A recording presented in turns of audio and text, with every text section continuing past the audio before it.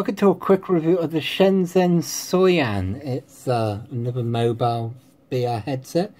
This time, this one is specially made for people with glasses.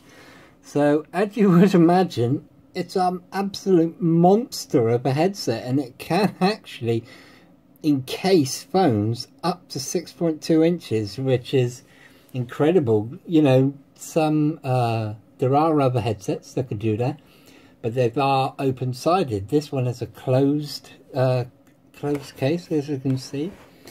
Uh, but yeah, it's a beast, absolute beast. I will also say that you do get uh, like a NFC smart thing, which quite frankly I couldn't get to work. So a little bit pointless, but nice. Whatever, whatever it is, I couldn't get it to work. Whatever. So, we'll get into the headset as I said, it's it's big, it's very heavy. I'm, I'm not gonna lie. It's just a, a beast of heads like sticking off an elephant to the side of your head. Uh, adjustable straps, which is all pretty good, and your your slots on the side for ventilation, and uh, maybe some earphones coming in there if we lift this up nice nice padded bit there which is quite nice on the head. Uh, soft foam here. Uh, I, I don't mind the foam. Some people uh, really don't like it they prefer the leather but I don't mind it. If we just lift it up can see in there?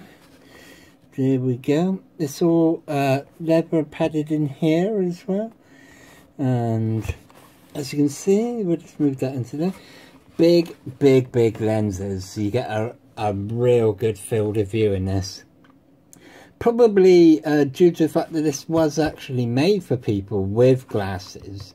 So when they put the glasses on and they're actually got their face in there, they can see quite clearly. I'd imagine that's why. But for people who don't wear glasses, you do get a really good field of view, which is really nice.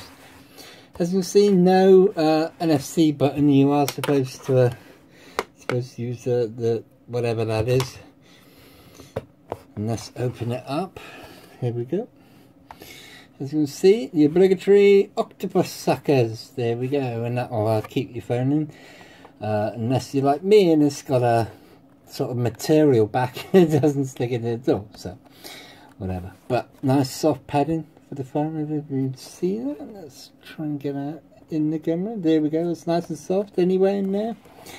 And again, nice and soft padding just here as well. If you just, uh, I find I just rest my phone in here, just like chink, and then up and close. So yeah, that is a very welcome little addition and that's about it. The because of the the wide lenses, there's no adjustable lens features in this, which is uh, which is okay. I, I generally don't think it's it's needed. There you go, the Soyan, uh, which I think is a second generation, but it doesn't say two, so we'll just stick with it. The Soyan mobile VR headset. It's quite frankly a bit of a beast.